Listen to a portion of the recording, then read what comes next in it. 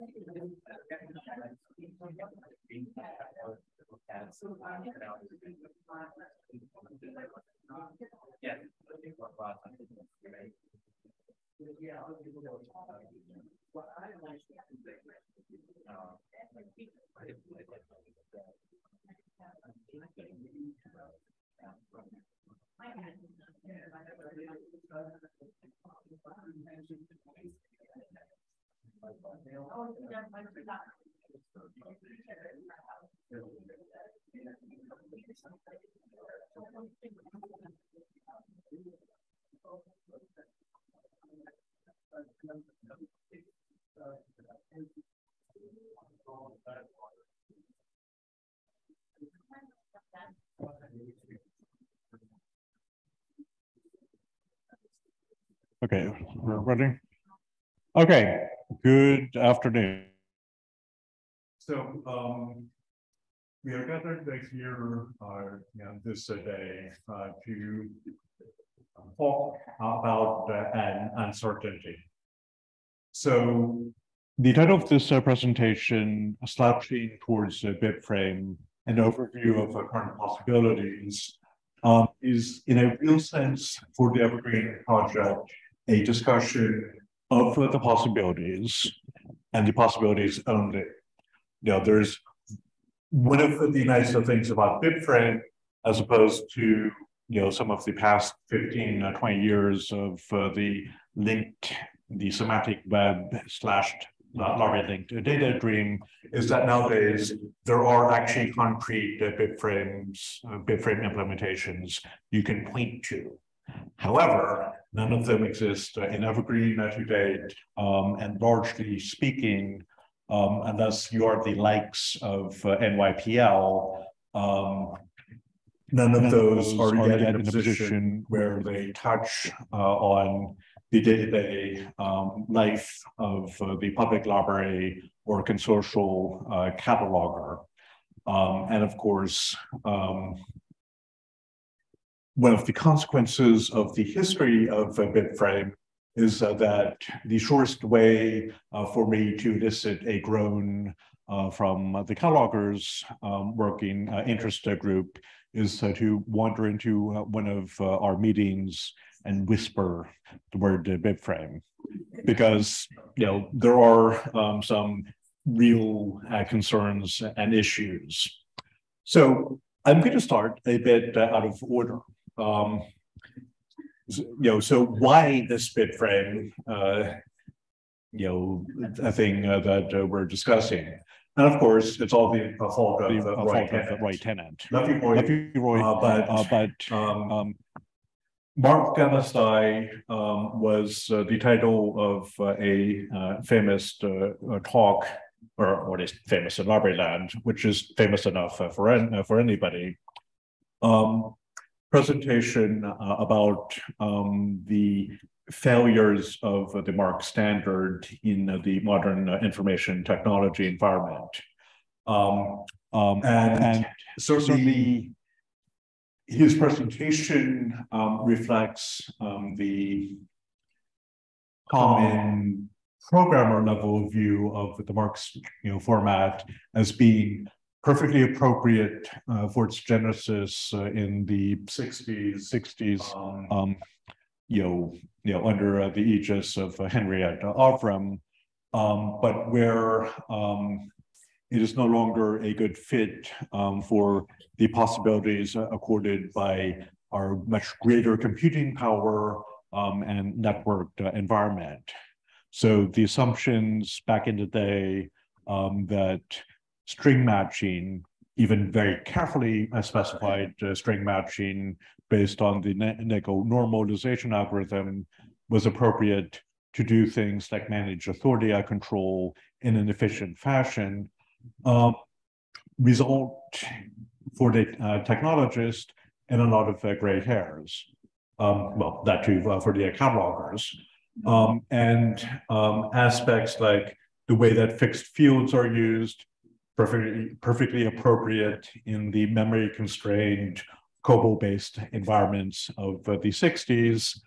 Um, but now we have um, you know, much more memory to play with, uh, and better ways of maintaining controlled vocabularies and coding. Um, and if we had a better way of uh, describing that data, we could potentially make much more use of it in computerized systems beyond what's feasible uh, with uh, MARC. Um, that said, I don't want to uh, downplay um, some of the advantages of MARC, particularly as a cataloging standard, um, because as much of uh, a barrier to entry it might be for the new cataloger, the new cataloger there has uh, the efficiency of the three-digit uh, tag actually cannot be underestimated in terms of cataloging discourse and precision. So I will find it really interesting if and when the Mark record truly dies and everybody's speaking in linked data uh, terms, how people will actually uh, uh, be doing their professional discourse. Um, you know, the, you know, you know, in most RDF or XML serializations, the efficiency uh, of saying the 245 or the 655 is hard to beat. But of course, the point of Mark Must Die wasn't particularly uh, about uh, just the uh, electronic, uh, record, electronic format record format or the interchange. Uh, this um, morphed uh, in discussion over a much broader discussion about the way to reconce reconceptualize bibliographic description and to apply it to areas uh, that are not about books and will never uh, resemble books. Um, and I suppose leading to the dream of catalogers and archival uh, and archivists sitting together in peace uh, in one house, which I will be happy to observe over here.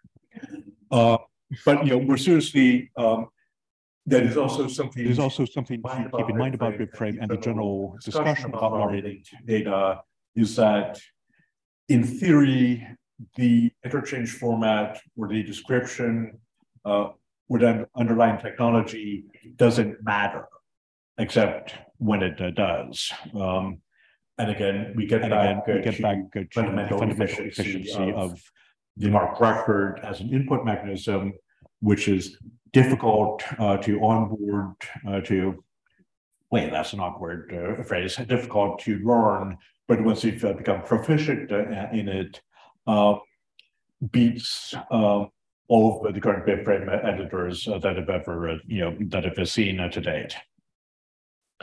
But like i said i started this out of order you know what the heck is a BibFrame um, and fundamentally, it's um, a model for bibliographic uh, description, uh, as well as description of other cultural materials. It builds in assumptions, you know, that is at, uh, at its uh, core, um, you know, using linked uh, data vocabularies, uh, and RDF description. Um, and, um, but you know, the uh, you know, is a data uh, model. Corvid is a data model in one sense, kind of a kind of evolution a of a FRBR, of a FRBR, where, what we're ultimately dealing with is entities um, that uh, we can uh, point to in the weird virtual bibliographic sense a of sense works, of works, instances, instances of of works, works, embodiments of the you know works uh, as uh, items, and then the agents uh, that are involved in those works, and of course, uh, subjects uh, and topics. But the notion of um, BibFrame is that at its core, it's the data model uh, that matters, um, and in theory, um, um, the sky's the limit uh, in terms of uh, the ways it uh, could be serialized. Of course, um, given that BibFrame is an outreach of longstanding semantic web and linked data technologies, um, most of the time you will be, uh, you know, ultimately serializing it uh, in RDF. But that uh, kind of linky um, view of the world um, suggests amplification of Roy Tennant's, um, um, point. um, Um, what BibFrame uh, and you know its uh, predecessors uh, are really saying is that um, records must die. so the idea of a marked record um, in one sense, can be viewed as a document saying a bunch of things uh, about the literary or bibliographic um, entity that it's uh, describing. um, BibFrame is much more focused on the relationships. Um, you know, works to instances, how works are related. How works are related to the agents, agents involved uh, uh, in producing them, uh, as well as the subjects uh, that uh, are uh, are described. described.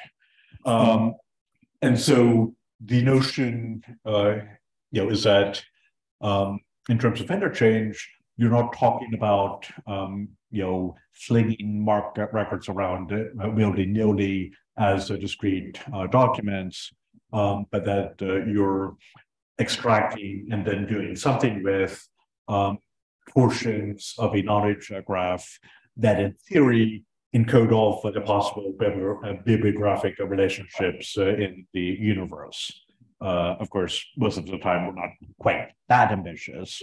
Um, but you know, the principle at least is that um, we can move forward from purely library specific uh, concerns uh, to being able to do meta, you know, metadata, you know, uh, um, you know, uh, smash and grabs uh, from other you know communities that have uh, you know metadata of interest to libraries.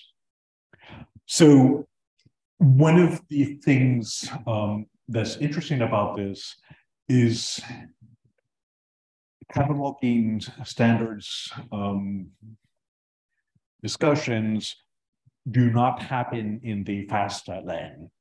Um, so, you know, you know, when I created this uh, slide, um, I realized uh, that I was starting to feel really, really, really old um, because it was because it was over 20 years ago um, um, when, uh, uh, you know, made uh, this, uh, you know, Mark Must Die presentation.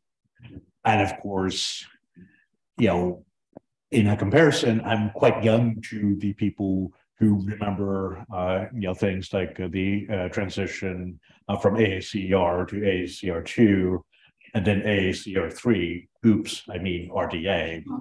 And, uh, you know, the many years of the discussion that um, came out. So, you know, uh, it took, you know, you know, 10 years for BibFrame to emerge. But of course, that 10 years, uh, you know, was almost entirely filled uh, with uh, seminars and ALA uh, sessions, uh, you know, tearing, uh, you know, through the various possibilities of uh, the semantic web and linked data.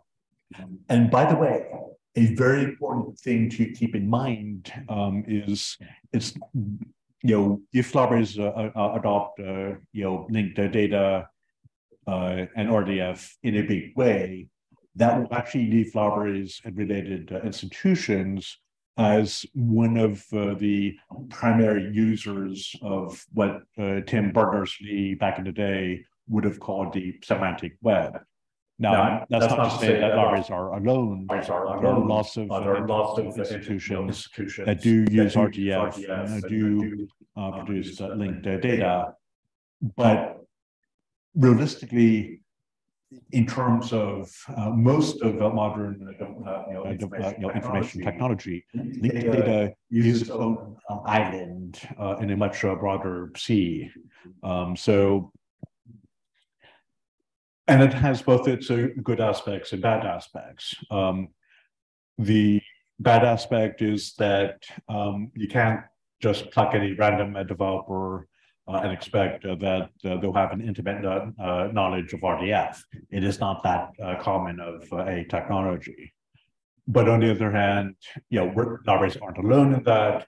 And being able to um, be in a relative, relatively constrained uh, community potentially gives uh, us a greater freedom uh, to do what we need to, to do with it.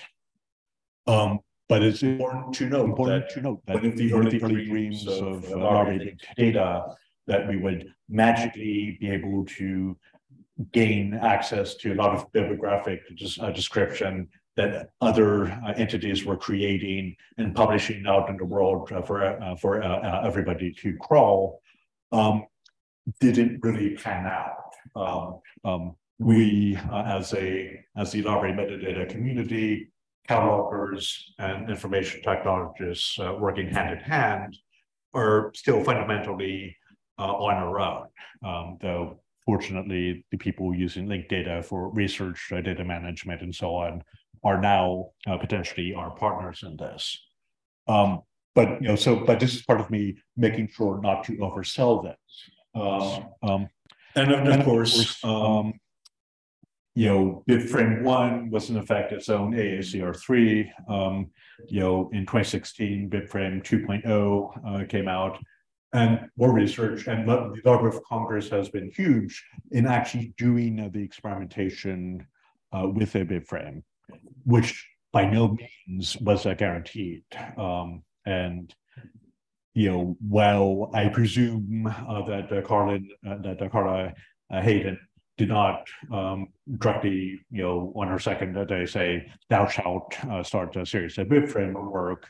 Um, I do honestly think um, that her leadership as, you know, the current librarian of Congress very likely was an enabler uh, for LC to uh, step up uh, to uh, the plate here.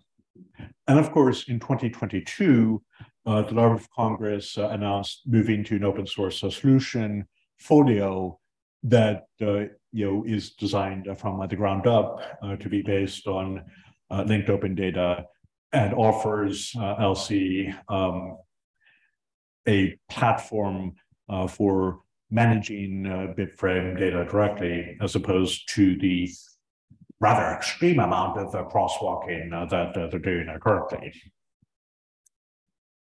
Um, and so one of uh, the consequences of that is that um, there are you know much more tools nowadays um, available for anybody uh, who wants to lean on all of this experimentation and research uh, to actually start uh, playing around uh, with the BibFrame. Um, and if you can, um, you know, work through getting a running Folio system, um, you know, put it together. Um, and for some of the old, uh, you know, hands in the Evergreen community, at last uh, we have uh, something harder to install than Evergreen was at that one uh, Code4Lib pre-conference um, probably 15 years ago. Um, but in any event, um, you know, there are now possibilities um, that uh, can lead uh, to production uh, use of the BibFrame, or at least experimentation that will look like uh, production use. Um, and this uh, gives an opportunity uh, for us in the Evergreen community to have a head start on experimentation, um, um, in part uh, because the Evergreen community is uniquely positioned uh, to fill a huge gap uh, in the way that the BibFrame is being discussed uh, nowadays. All right, so, you know, why would we even consider adopting a BibFrame? Um, so there is a, a, you know real sense of the kind of uh, history. Um, I don't know how long Roy Tennant uh, was expecting the mark format to last. Um, he, well, he was probably not hoping for it to, to last uh, this uh, long. Um, you know, he may have had some hopes uh, that uh, that we would be, be for long. Um, and the issues um, that I'm pointing out uh, with uh, the MARC format are real issues. Uh, you know, in an information, uh, you know, uh, you know, in a system where you want to load and ingest MARC records, you know, it's a you know delicate system that um, you know does not play well with uh, web concepts, and while the cataloger's conspiracy to create discovery layers. discovery layers to point out problems and mismatches in fixed fields has succeeded. Um, that doesn't make um, the data maintenance uh, or data cleanup uh, any uh, easier. Um, and so that is, uh, of course, really the potential, a bigger potential for BibFrame that in a environment that is set up to promote sharing and interchange of assertions about bibliographic concepts, um, the maintenance of data in your local catalog or entry point into this bibliographic universe, in principle, In principle, could get could a get lot easier. Um, if um, your data is expressing relationships, um, say, you know, subject, uh, you know, relation, uh, topic of relationships, and and you know, you realize that your patron population has enough uh, Spanish speakers that you really ought to say have uh, Spanish language access uh, points uh, to uh, your catalog.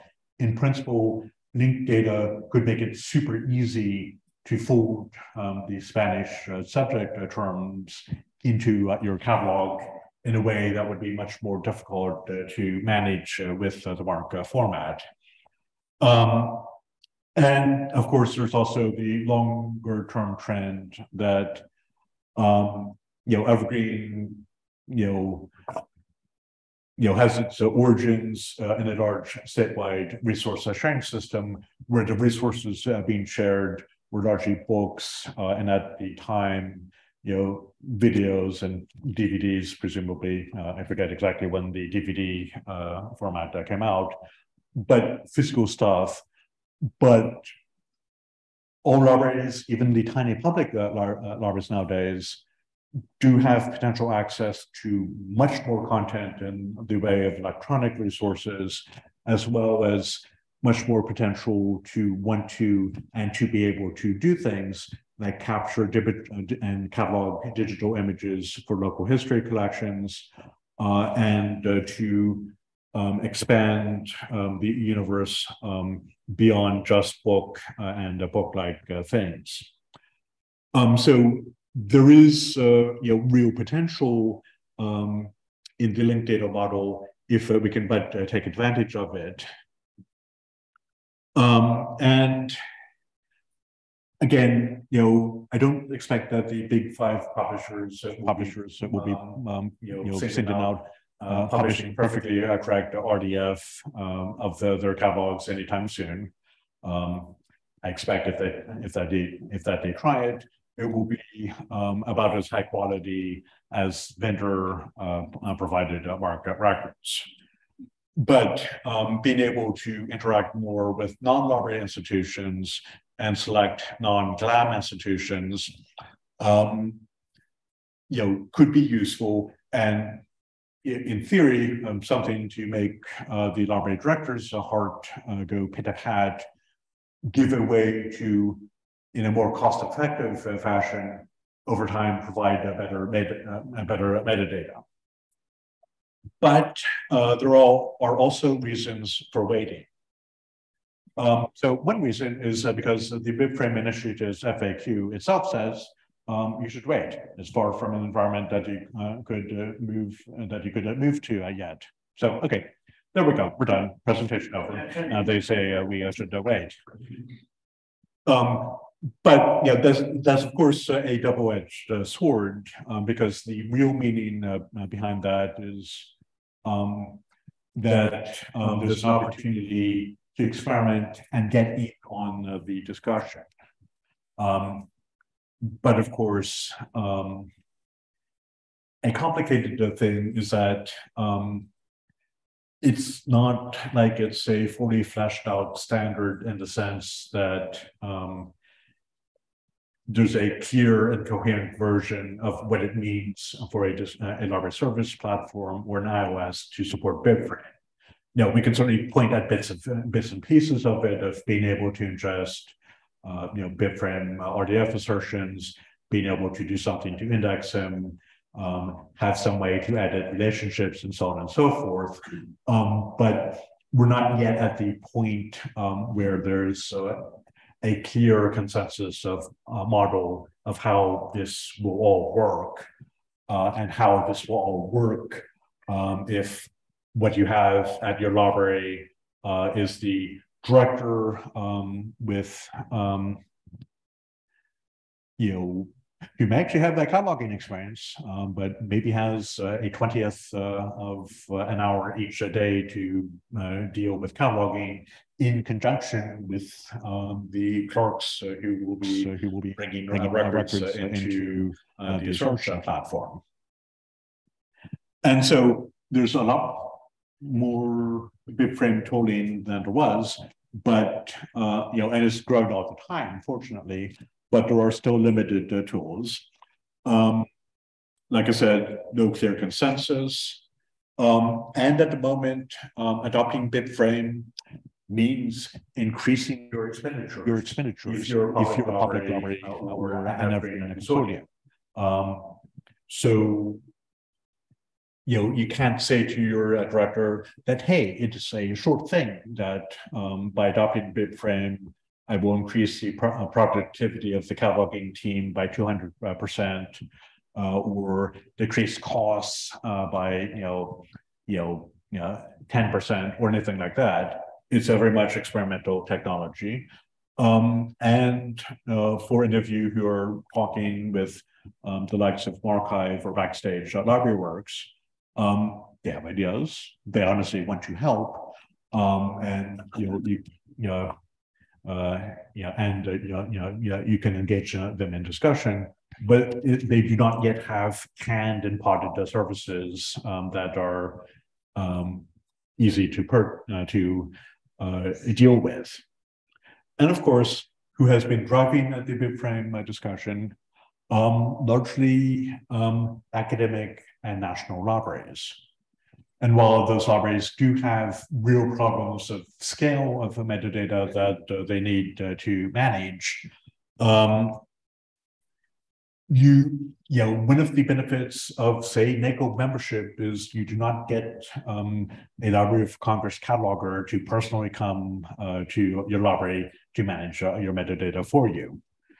Um, so not, you know, so there's a big gap um, in, you know, public library represent, representation in BibFrame uh, discussions.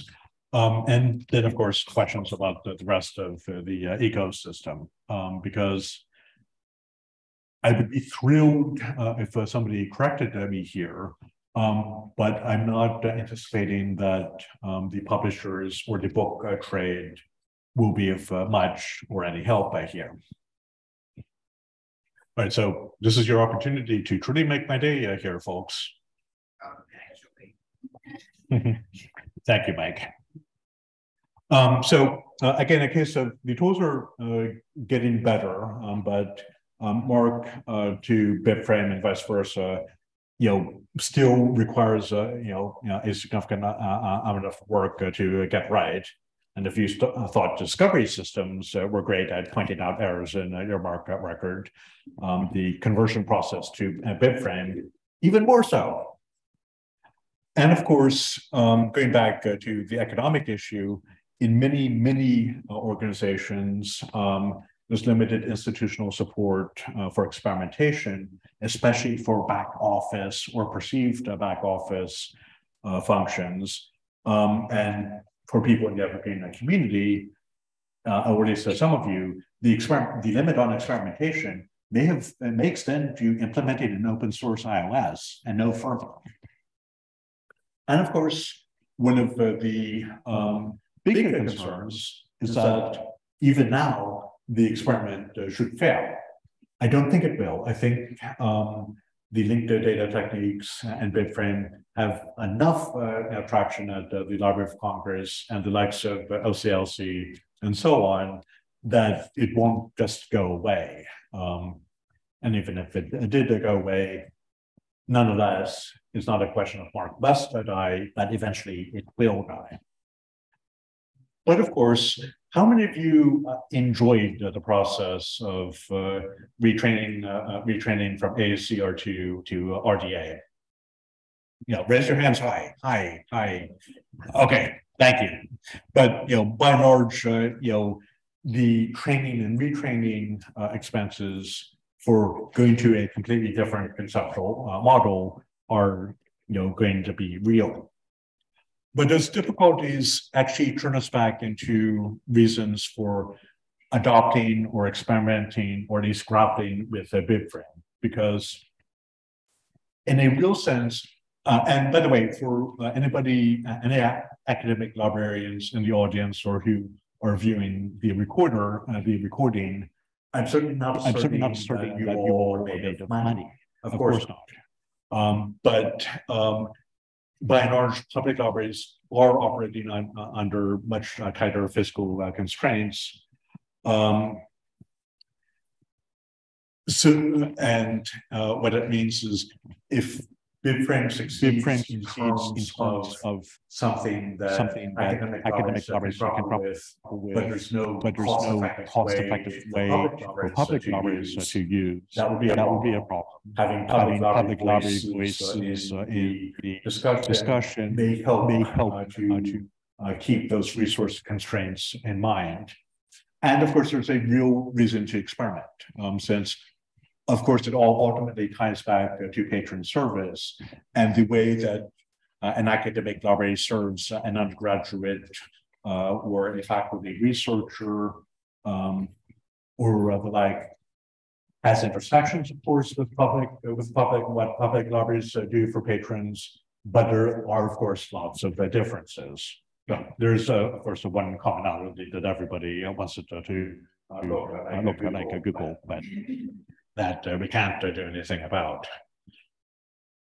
But also a very, you know, real structural reason to engage um, is to um, avoid a situation where you end up being forced to adopt a BibFrame and your options for doing so are uh, potentially tied um, strictly to a couple large monopoly uh, service providers and record sources.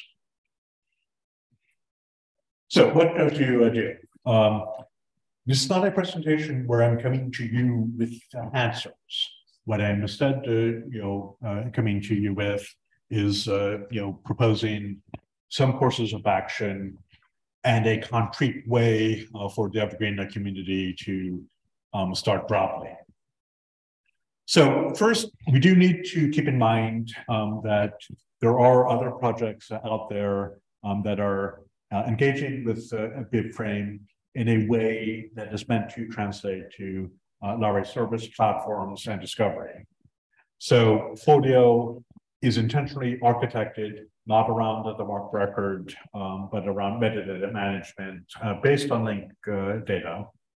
Um, it does know how to deal with block records uh, to a point, but it's very much a work in uh, progress. So the next bullet point uh, comes uh, from a uh, presentation from um, Stanford. I need to fix uh, that typo at the BibFrame update forum in January, um, where um, a couple comments he made was um, you can't delete uh, bibs uh, from uh, the uh, user interface at the moment.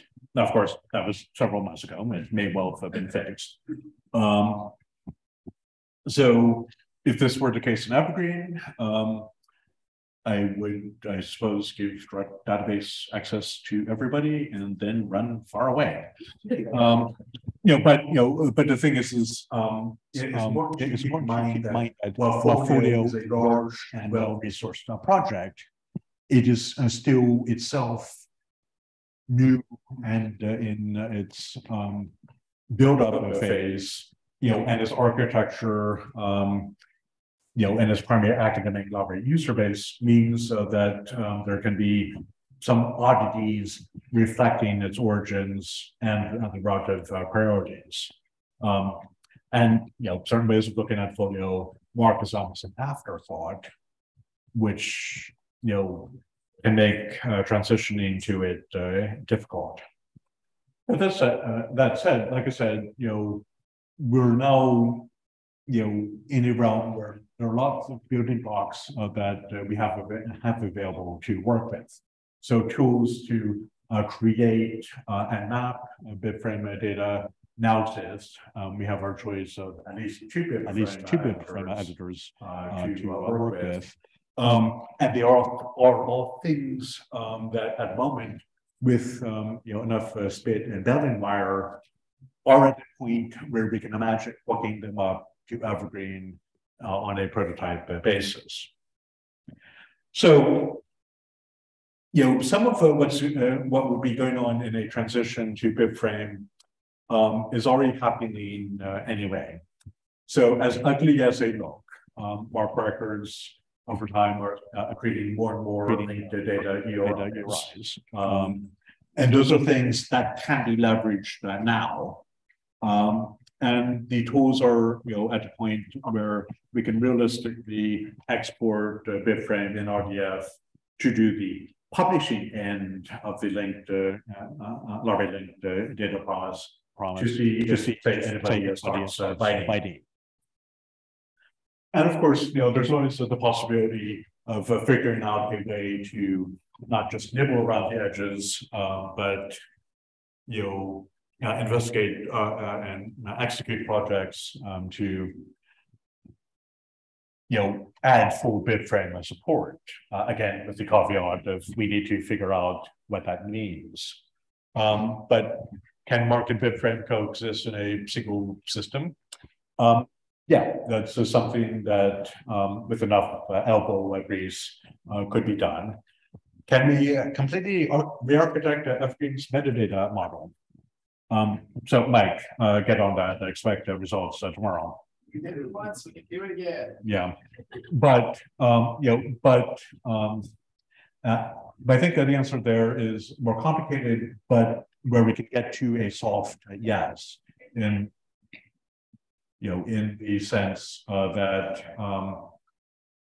You know, since, you know, the core work entity and instance entity and item entities. Roughly correspond to things that we're modeling already in Evergreen you know, we do have uh, capabilities um there. Now, of course, my uh, slide has a question, are we implementing BibFrame?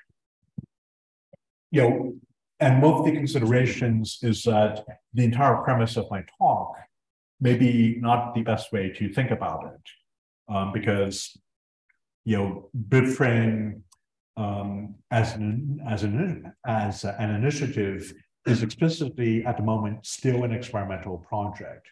So the question we are asking ourselves might be, um, what is a good way to improve metadata management for public libraries and consortia in a way that still keeps uh, us uh, hooked into the broader, uh, you know, library ecosystem. So some uh, specific uh, ideas uh, for Evergreen. Um, you know, we have the ability uh, via you know the BibFrame MetaMark tools that in principle we could you know board on something to start fetching and ingesting BibFrame uh, metadata for ingest into Evergreen. Uh, it would be feasible to do an export without having to go to third parties to um, do that for you. And there are things we can look at to actually attach functionality to the URIs that are increasingly showing up uh, in uh, Evergreen. And you know, one of the, things um, that could be interesting is creating a cataloging playground. Because one of the things that is also uh, on my mind is eventually Terry Reese will retire. And um, I think there is going to be a real question of ultimately who will pick up MarcEdit uh, or uh, does a succession plan uh, need to be considered. So this is where I get to what amounts to a call uh, for action. So for next steps, you know, looking into and securing funding via community contributions or grants or the like to make advantage, uh, to enhance Evergreen, to make advantage of uh, linking possibilities available now could be useful, could also, you know, improve the patron experience. Uh, but what I would like to pro uh, to propose, um, and I ran this by the cataloging interest group, um, so um, that nobody uh, throws tomatoes at me uh, during this presentation for speaking out of term, is to uh, form uh, a BibFrame study group uh, within the Evergreen community.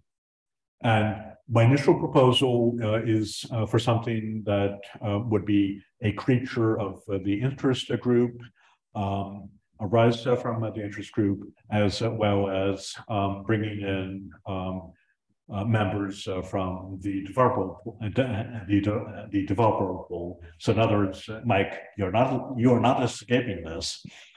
Um, but it ended up as uh, in, uh, initially a limited thing of three to four months where we would meet a couple times um, and work out um, a sequence both to present BibFrame tools, experiment with them, and have structured discussions uh, about what the future of a BibFrame in Evergreen might look like, might look like, and, and importantly, evolve, see if we can articulate concrete things that BibFrame would enable that would make it useful uh, and justifiable to work uh, with uh, to do the experimentation. And then, of course, um, at the same time, reaching out um, to various groups that are already working with and or uh, thinking about BibFrame. So, you know, the uh, big, uh, the best BibFrame list uh, serve, uh, reaching out to the Folio project and so forth. Um, and in part to fill the gaping hole uh, that I mentioned. So this is uh, this is a, a slide from a presentation at the same January BibFrame update uh, forum of the current membership of um, the BibFrame interoperability group. Um, so I think a challenge um, that it would, would issue to the Evergreen community uh, is in the January 24, 24 uh, version of this to have the logo of the Evergreen project and or community members and or especially a public library or consortium that serves the public libraries uh, on this list of logos and making sure that there's public library uh, representation in the BibFrame uh, process to help ensure that the end result will in fact be useful uh, uh, for public libraries. So thank you for your time and attention.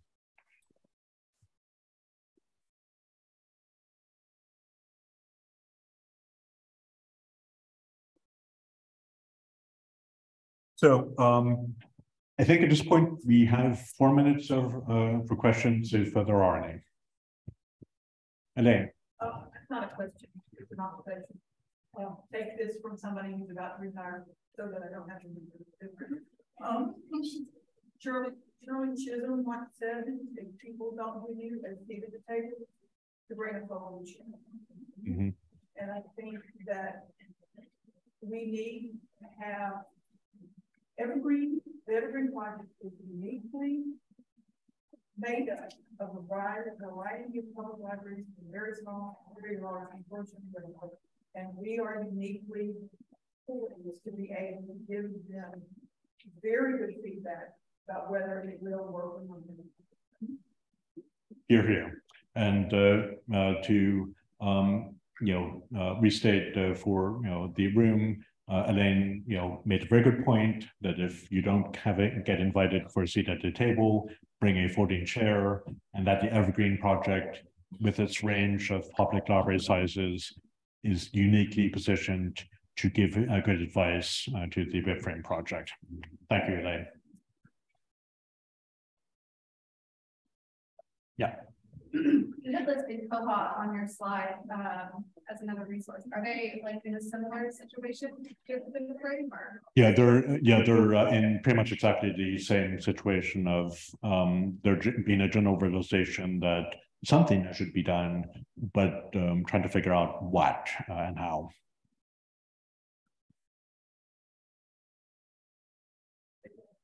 Okay. Thank you. Thank you. Thank you.